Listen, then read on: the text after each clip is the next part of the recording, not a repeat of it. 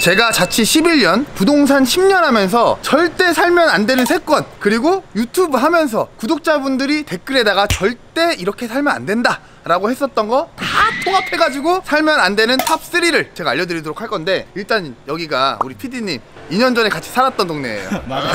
여기 보면은 언덕 쪽에 있는 데인데 네, 여기입니다. 이런 언덕들. 진짜 여기는 올라갈 수가 없잖아요. 그쵸 그쵸. 여기가 근데 좋은 게 있어 음식이 싸고 좋은 것도 좋은 건데 여기가 월세가 엄청나게 저렴해요. 아, 그때 우리가 살았을 때가 얼마인지 기억나? 그때 PD님이랑 저랑 살았을 때가 보증금 50만 원에 관리비 주차비 다 해가지고 43만 원인가 그랬어요. 그랬었는데 주차 두대 되고 여기가 돈만 보면은 정말 살기 좋아. 보증금 한 천만 원에 월세 한 60 내잖아? 여기 거의 시그널에 살 수 있어. 진짜로. 그런 동네야. 근데 여기가 단점이 이 언덕이랑 여기로 올라가려면 우리가 우리 옛날에 집이 있잖아 저쪽으로도 갈 수 있었지만 여기, 여기 차 엄청 오잖아요. 그렇지 그렇지 이 사거리 방향으로 차가 너무 어, 많아. 저, 야, 야, 온다, 온다, 온다. 차, 버스도 차. 오네. 어, 차 온다, 차.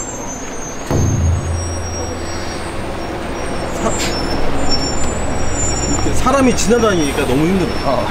이 언덕을 우리가 계속 올라가야 되는데 이 언덕이 한 세 개 있어.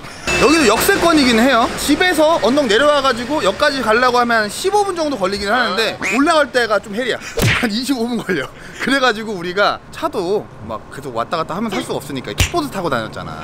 타고 내려가려고 하는데 또 누가 또 이제 가져가지고 그랬었던 기억이 있었다.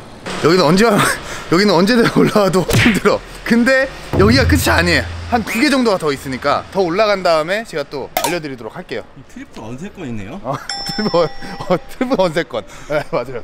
겨울에는 여기 내려가기도 힘들었잖아요. 저 여기. 아, 그때 옛날에 저거 차 타고 올라오다가 바퀴 헛돌아가가지고, 씨. 사고 날 뻔하고, 진짜. 아. 아, 예, 안녕하세요. 아, 예. 아, 구독자시구나. 예, 안녕하세요. 저 옛날에 여기 살았어가지고 촬영한다고. 아, 예. 아, 예. 안녕하세요. 안녕하세요. 좋아요? 알아보니까? 그쵸. 여기가 우리 옛날에 살던데. 야, 에어컨 봐라. 여기 한 20년 넘은 것 같은데. 여기까지 올라오면은 괜찮아. 아, 여기가 물가가 엄청 싸가지고 그때 우리 고등어에다가 백반에다가 찌개 조그만한 거 뚝배기에다가 나오는 거 요즘 얼마예요? 그, 그 정도 하려면 15,000원 넘지 않을까요? 8,000원이면 먹을 수 있어. 여기는 진짜 싸. 그건 진짜 좋아. 근데 여기가 워낙에 물가가 싸고 하다 보니까 너무 저렴하다 보니까 여기가 조금 짜증났던 게 뭐냐면은 우리 그 알지? 11시 되면 니랑 나랑 네. 뭐라 그랬어? 뭘 뭐라고 해요? 그 소리 지르고 그랬잖아. 아, 여기서 저, 저쪽 저쪽 집인가? 저쪽 거기 공원 넘어가 가지고. 아, 근데 그게 맨날 막 너무 당연한 얘기여 가지고 제가 못 알아들었어요. 그래 11시 11시 말하면 알아야지. 그러니까 11시만 되면은 맨날 소리 지르던. 어 그 미친 아 세- 여기가 그래서 우리가 옛날에 장난으로 세건 세건 하다가 10세건이라는 얘기를 했었다.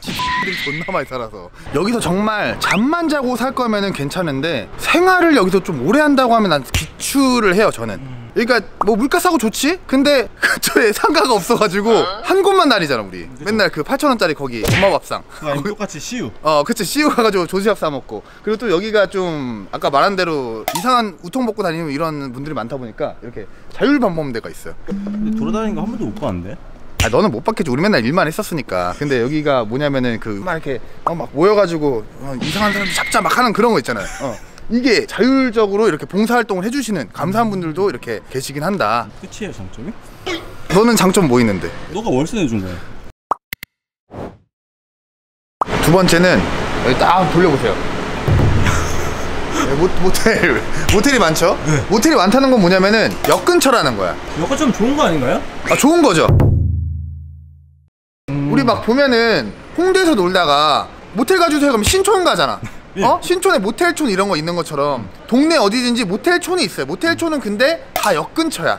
만약 여기서 자다가 바로 이제 지하철 타고 출근해야 될 수도 있고 막 그러다 보니까 근데 이 모텔촌이 있는 곳 근처에 살면 안 된다. 어, 왜요? 소리가 소리가 소리가 이제 시끄럽잖아. 음, 왜냐면 이제 아침에 다른 분들이 이제 배달 같은 거 이제 시켜 드시고 이제 오토바이 소리도 많이 들리고 막 그러니까 우리 아까도 촬영하는데 차 왔다 갔다 하고 오토바이 왔다 갔다 하니까 그런 것도 좀 있고 이제 술 취하신 분들도 이제 좀 많이 왔다 갔다 하고 소리를 지를 그것도 있는데 이쪽으로 와봐요. 그래서 여기가 어디죠? 대로보로 나가보면은 이제 알 수가 있어. 여기 모텔 근처에 살면 안 되는 이유. 낮에는 괜찮은데 밤에는 절대 안돼이 모텔촌에서 나오잖아. 또 여기 봐봐봐. 여기 자몽. 그리고 여기 뒤에 봐봐. 최신시설 대형룸 완비. 어, 그리고 여기를 지나오는 순간 바로 이제 형님 노래방? 노래방? 형님 오피 오피? 이거를 한단 말이지. 근처에 산다고 쳐봐봐. 그러면 계속 뜯기질을 당해야 돼 그 사람들은 그냥 보이면은 바로 이제 부른단 말이야. 그러다 보니까 이제 입맛 따시는 거예요? 아니 그게 아니고 퇴근할 때마다 퇴근하면 몇 시야? 집 오면은 뭐 이제 출퇴근 1시간 정도 막 걸리고 막 한다고 하면은 퇴근하면 8시 정도 된단 말이야. 그때부터가 딱 이제 RC들이 출근할 때란 말이야. 퇴근할 때 집 가서 좀 쉬고 싶어. 근데 아까 말했던 것처럼 아 봐봐. 놀봐? 아 자, 자. 형님 형님 이 아저씨들이 그냥 조금 따라오는 게 아니야 여기서부터 저기 저기 다비치 한경 있지 저기까지 따라와 준씨도 남잔데 그런 유혹 당했을 때 좀 어땠어요?